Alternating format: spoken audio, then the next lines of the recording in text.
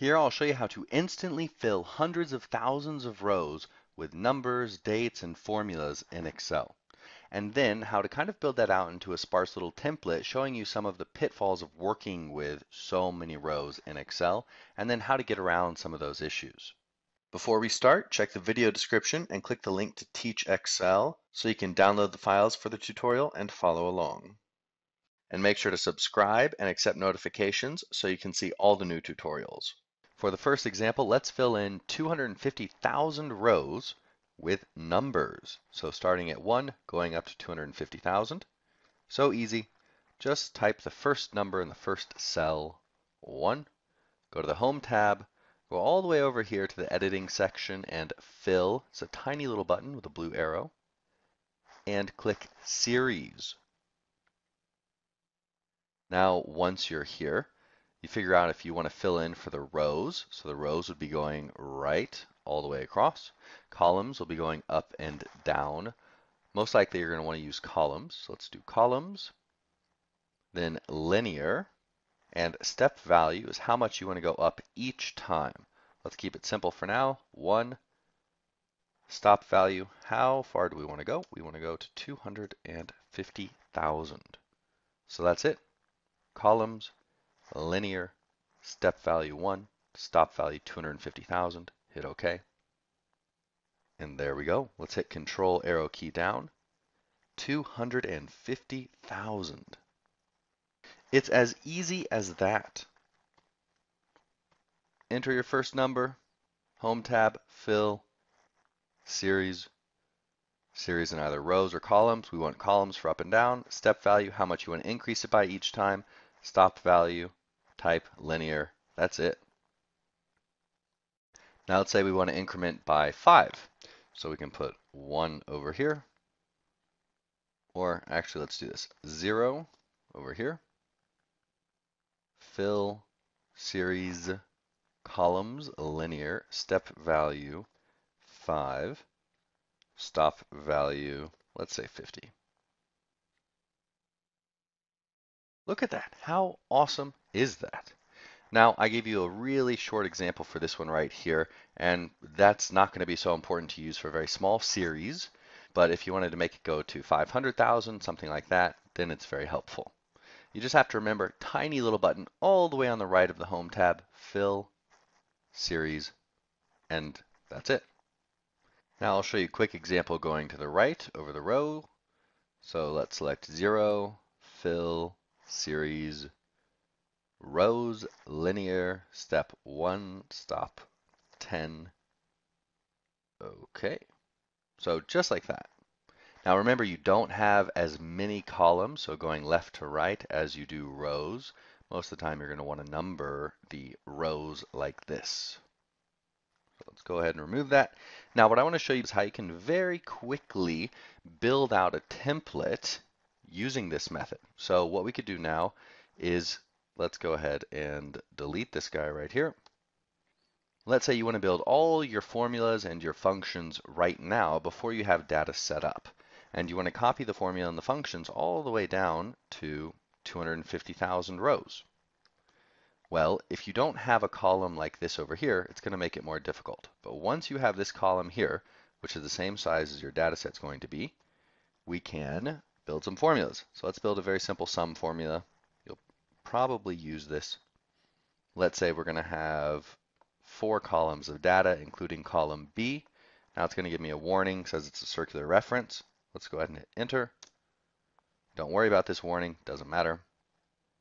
Now that we have this formula here, all we have to do, double click the quick fill handle in the bottom right of the cell. So select the cell with the formula and double click that and it will fill down to every single cell all the way down and we can double click to make sure it references the correct rows and columns. Now what we can do, we're all the way at the bottom, so I just hit control arrow down, arrow key down to get here. We're going to hit control shift arrow key up and that will select all of the data that we just put in there.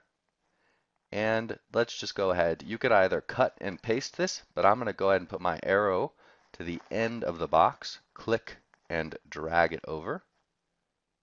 So now we can have a sum over here. It's going to take a little bit of time because of how many rows there are. So how long it takes depends on your computer. Let's double click. Sum B2 to E2 all the way down for all of my data. So now if I enter some stuff here, I get a nice sum. Let's see what this little warning says. The formula in this cell refers to a range that has additional numbers adjacent to it.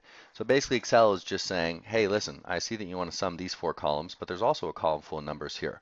So why aren't you adding that? Don't worry about that. It doesn't matter. They're just trying to help you to prevent you from making errors in your code. We can click this and we can hit ignore error. But really, these green little triangles aren't going to affect your code or worksheet at all. Now let's continue to build out the template by adding some dates. So we're going to quickly add lots of dates. And adding dates is pretty simple here. Let me zoom in real quick. Let's say we want to type in, I'm just going to put dates. We want to type in the first day and we want it to add a day for every cell. Just type in the date, make sure Excel sees it as a date format. We can see up here in the number box that it does. And go to the bottom right hand corner, click and drag it down, and you'll see that each cell has grown by one day. And now we could double click in the bottom right hand corner, and it's going to fill in the dates for every single row all the way down to the year 2702. So you probably wouldn't do this with 250,000 rows, but that's how you can quickly add the dates. Once you've got your data over here, just like with the formulas, put what you want in the first cell and copy it down. Now, let me go ahead and delete this. Let's do something a bit more practical. For the dates, if you're creating a template, you probably don't need every single day. You're probably going to be doing something for the weekdays, for the business days. So what you can do, let's start with date. So that's a Monday. Now let's copy it down a little bit. I'm just going to do a small selection here so we can see everything on the screen. All right, so we have every single day, including some weekends. Now, what if you don't want the weekends? Go down here to the bottom right. This little tiny thing appeared. Autofill options. Click that and we can go to fill weekdays. Now notice how this will change. Right now it's 13, 14, 15, sequentially all the way up to 21. Fill weekdays, 13, 14, 15, 16, 17, no 18, no 19, and then 20, 21, 22, 23. So that's a nice little feature to have Excel automatically remove all of the weekend dates. And notice that these are dates, they are not formulas. But if I go here, change it to general, we can see it's the date serial number. So you now know how to enter lots of dates, numbers, and even formulas. But now I want to show you something that can cause problems when you're dealing with this much data. So you've got tons and tons of rows. Now let's go over here and let's create another formula. It's called formula V2. All right, formula over here. Let's just say this is January. And this is also kind of neat. It will work for the months. I put in the first three letters and I can copy it to the right.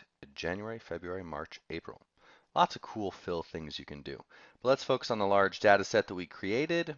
Okay, let's go over here and create a simple formula, simple function, the sum function.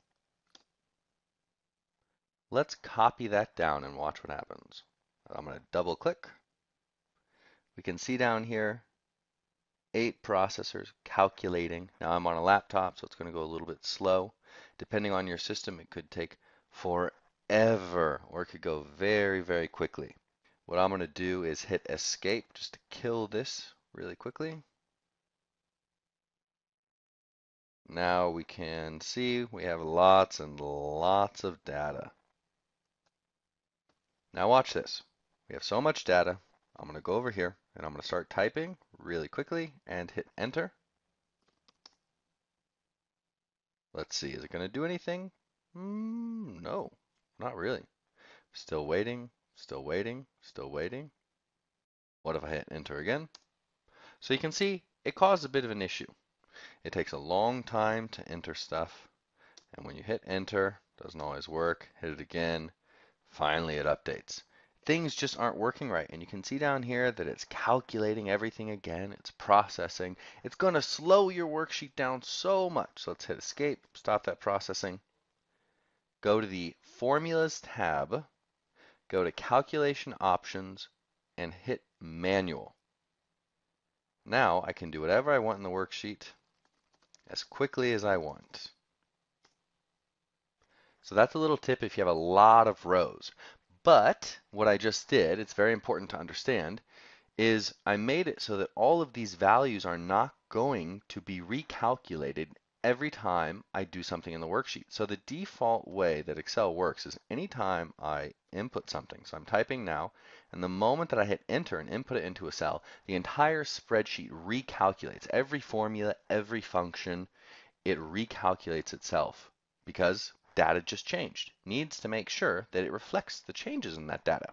So it's a good feature to have, but when you have tons of data, or a slow computer, or both, it takes forever to do the smallest changes in the workbook. So what you can do is turn off that default feature, the default calculation settings by going to Formulas tab, Calculation Options, and set it to Manual. Now it will only update everything in the worksheet when I tell it to. I can hit F9 or I can on the Formulas tab hit Calculate Now or just hit Calculate Sheet. And then you can update everything and have it take a long time when you're ready for it to do so. So make all your edits, hit the calculate button, leave your computer for 5-10 minutes, and come back when it's done.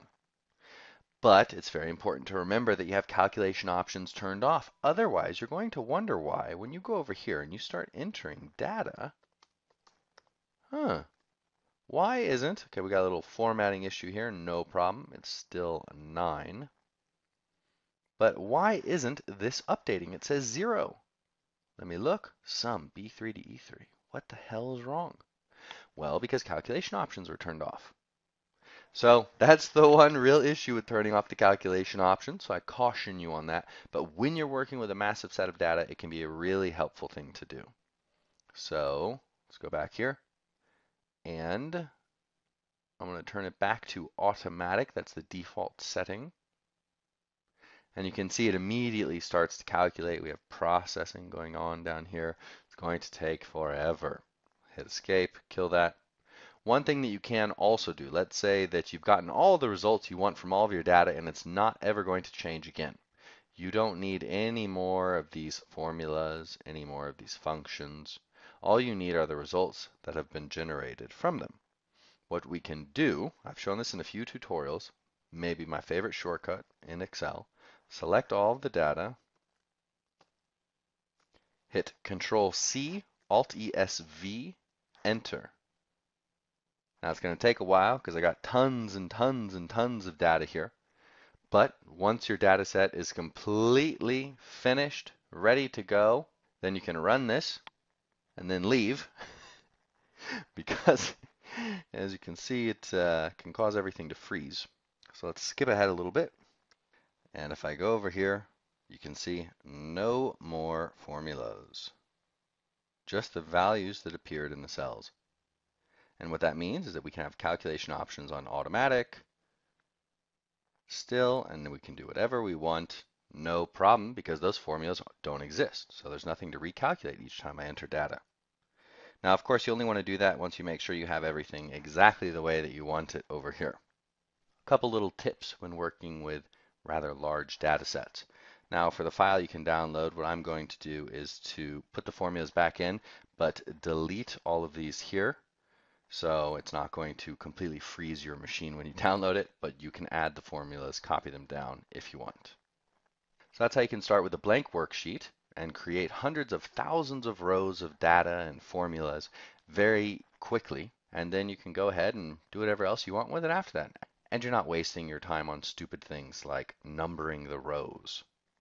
But just remember, it all starts on the Home tab where you enter a number in a cell, go to Fill, Series, choose rows or columns, linear, step value, the value by which you want to increment, stop value, the maximum value that you want to have, and hit OK. And that's how you can instantly fill numbers, dates, formulas into hundreds of thousands of rows in Excel. I hope you liked the tutorial. If it was helpful, don't forget to give it a thumbs up and make sure to subscribe and accept notifications so you can see all the new tutorials.